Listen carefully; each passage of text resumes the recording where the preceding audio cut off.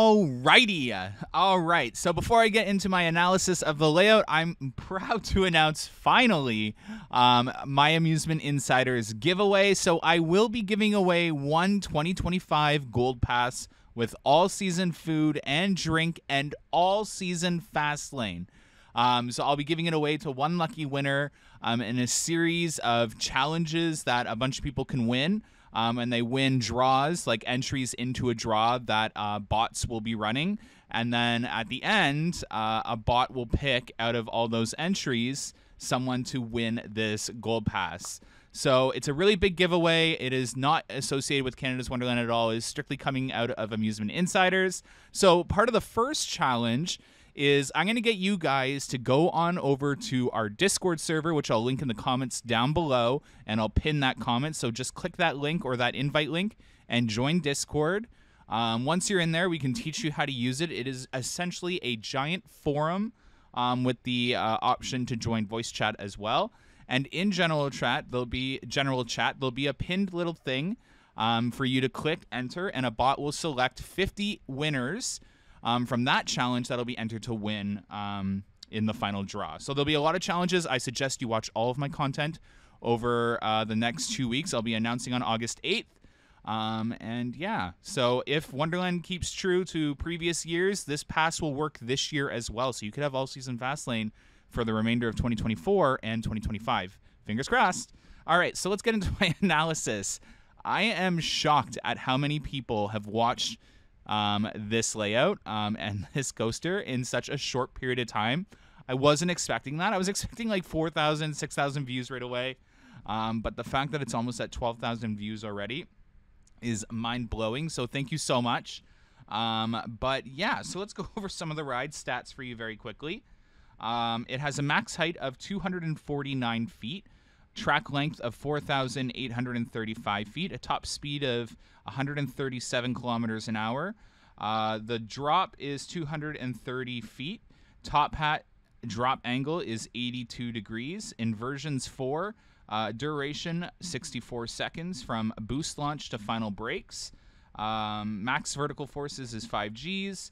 Minimum vertical forces is negative 1 Gs.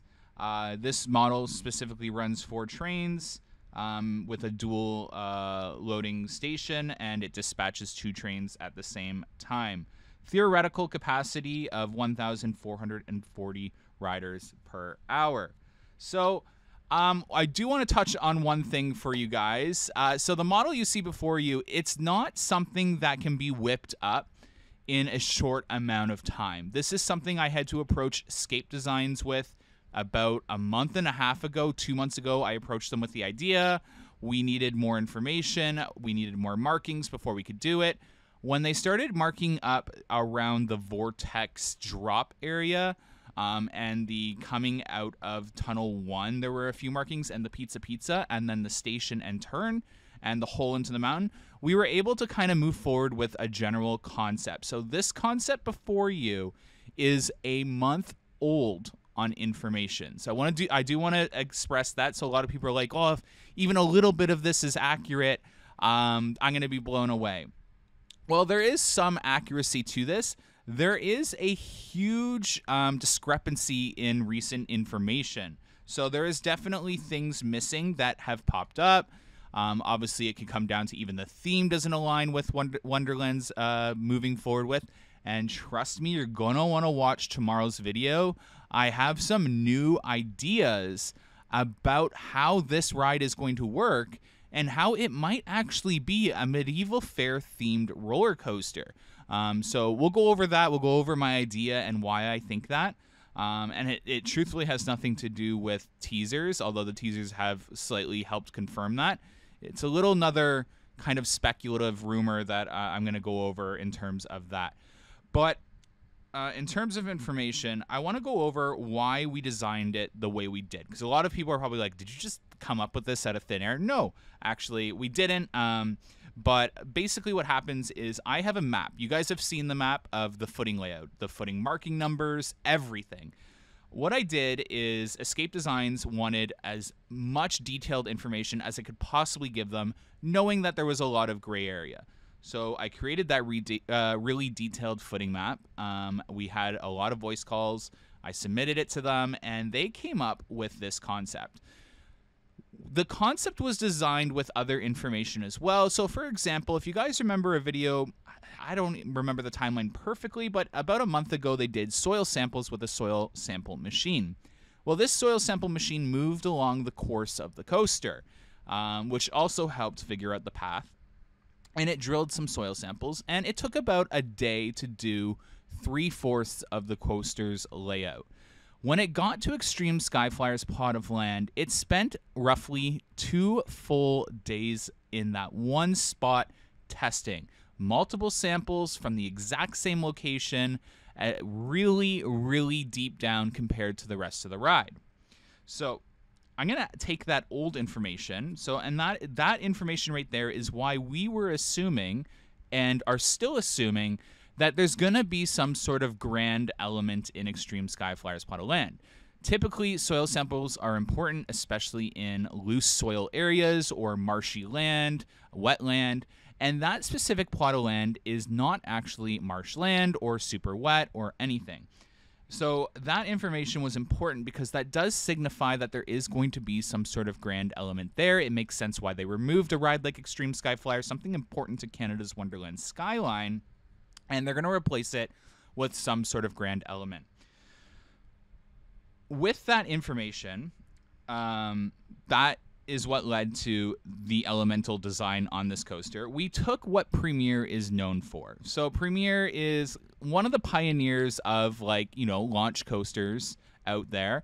Uh, they are known for their vertical loops, their world's tallest vertical loop that they had before the record was stolen um, and their swing launch. So if you remember, even Full Throttle, it has the swing launch. They are also known for their spikes. I, I correct me if I'm wrong, but they were the pioneer of the spike well before it was used by other manufacturers.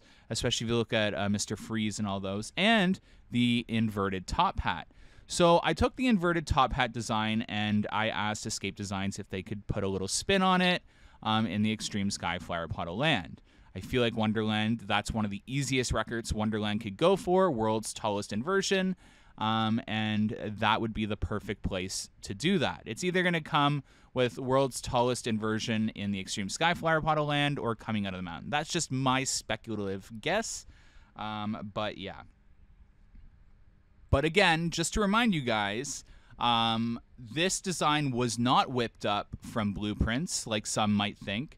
Uh, if it was, I'd probably be in a really bad place with Canada's Wonderland right now. Um, so that I can confirm, you guys. If you guys are looking at this like, oh, this is like the Yukon era, it's designed from the blueprints. Um, it is not. Uh, and it is a month old of information. So while the footing layout is very similar, there is 100% some change in evidence. Um, and uh, interestingly enough, this is looking like a really interesting project. I want to go over some tea with you guys. So, some newer information, which we kind of knew some of it uh, a couple weeks ago, is this project. It's no joke that it is extreme importance to Canada's Wonderland. Um, I have never seen Canada's Wonderland so protective of information and so protective of what this project could be. Um, anyone who knows Canada's Wonderland, and trust me, I know Canada's Wonderland really well. Um, they have been, and I know I'm allowed to talk about this um, in a little detail. Obviously, I can't go in full detail. But Wonderland has obviously expressed that they do not want any information leaking out about this coaster. Um, and from what I've gathered, track shipments could be arriving after the announcement um, and that was done on purpose. So they wanted no track or supports to arrive for the coaster before the announcement. Um, and I'm also starting to feel like there's a reason the construction crew working on the coaster has been so minimal. Um, a lot of people have been bringing up, like, oh, you know, it's weird that it's such a small team, a team of six, um, and that they've only been doing the station and turn into the mountain um, and brake run for the coaster and not working in the larger areas. Well, I can confirm that the larger areas of this coaster layout are probably going to need a larger drill. Um, so we are waiting on that uh, most likely, speculatively. And on top of that, the larger team hasn't come in to work on this coaster because they don't want much known about this coaster to the public until after the announcement. Um, the date of the announcement is set for the exact same date as the stockholders' call um, for the new Six Flags company. So that's really interesting as well. August 8th will be the stockholders' call for Six Flags slash Cedar Fair. And it'll also be Canada's Wonderland's announcement. It'll also be the day that season passes most likely go on sale for Canada's Wonderland. But all this information, it's it, it adds up. This really, from what I've heard, um, and from my personal opinion of how well I know Canada's Wonderland and my personal relationship with Canada's Wonderland, is and again, I'm really not trying to overhype you guys. I know during the Yukon Striker era, I did a really good job of setting the expectation really high, and I know that I am inherently doing that again, especially with this prediction layout that you see before you on the screen. But I do want to stress to you guys, as someone who's taken a long time um, and covered Wonderland for such a long time now, I'm on seven years now. I can tell you that this is going to be Canada's Wonderland's most unique, at minimum, um, project that we'll probably ever see. And I'm starting to feel like even the prediction layout you see before you, while some elements are out of this world and we probably won't see those, there is probably some more intensity to this coaster than what you're seeing before you, even on the screen. Um, there are certain aspects uh, about this and the teasing campaign that have led people to think one thing or another. Um, and I'm going to release a video on the teasing campaign in entirety um, either tonight or tomorrow as well. It's going to be a two video day today or tomorrow um, as well as construction updates. It's crazy. There's a lot to talk about, and you guys are going to want to hear this because it's it's it's really heating up, and my thoughts are all over the place. Uh, and you're going to see that. I think your mind's going to be blown with what I'm starting to think about this coaster. But again, I'm not trying to overhype you, and there is a chance that I could be leading you astray um, to be overhyped. So I just want to let you guys know that because a lot of people in the comments section are always like, "Oh, you misled your audience. Oh, you said this, you said that." Um, and those that watch my podcast and all that, I, I've been very, very blatant and very um, open about what to take with a grain of salt and what to trust and what not to trust. Um, and I'm telling you guys right now, and I'm warning you guys right now that there, in watching my updates and all that, there is obviously the possibility that I am overhyping you all. But I do, again, am just stressing that I am starting to feel um, like we have no idea what this project is really going to be like and that we could be looking at an even larger scale ride than what you see before you. Um, and I'll go into a little more detail about the symbols and what I think they definitely mean um, in my teaser analysis video. And it's all going to make sense to you as why this could be a much bigger project. Um, but um, if it is dueling, if it does end up being a dueling coaster, that does eliminate that ability for this to be that record setter that I'm starting to feel like it could potentially be. So if it does end up being a dual launched coaster, not two, but like two side by side coasters, which I have not fully seen evidence of. Um, we have not seen the footings. The only footing pair that possibly hints at it is the groups of 157 A, B, and C and 157 A, B, and C um, slightly spread apart. But we have not seen greater evidence of that. The 157 in a pair of two could be that exact element that you see before you um, on the screen where it's doing that zero G stall over the path. So again, we haven't seen great evidence of that outside of the teasing campaign.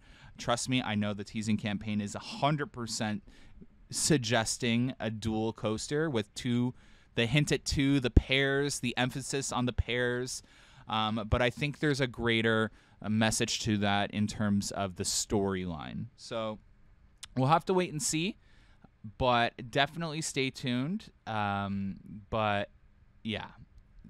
So essentially, what I'm trying to convey to you is the coaster you see before you, uh, definitely in terms of path of coaster, it is pretty accurate.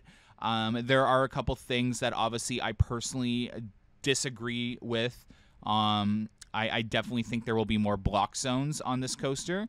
Uh, it's a park like Canada's Wonderland with a rapid growing uh, attendance numbers, especially this season. So they're going to need capacity, and Premier isn't known for capacity. So we're going to see something change about Premier at this specific park with this specific coaster that enhances that, whether it's dual load with longer trains um, or the dual coaster, which I personally am not fully on board with um, there is going to be something that increases that capacity number. Um, but again, this is an early model from about a month ago, so stay tuned because I am updating um, what I possibly know based off of what I'm seeing on the construction site, and I have a lot to say. So the next two three days worth of videos is going to be great. You're going to want to stay tuned for that. Don't forget to click the link down below in the comments section to join our Discord server server to enter the giveaway. Um, and yeah. Uh, thanks so much. If you guys have any further questions, because I feel like maybe I didn't answer it in entirety in this video, comment down below and I'll try to actually respond to some comments in this video. I know I haven't been the best at responding to comments lately. I've been really, really busy um, with this project that was uh, uh, uh releasing the other day and the giveaway, construction updates, and obviously work. But yeah, thanks so much, guys. Have a good one. Bye.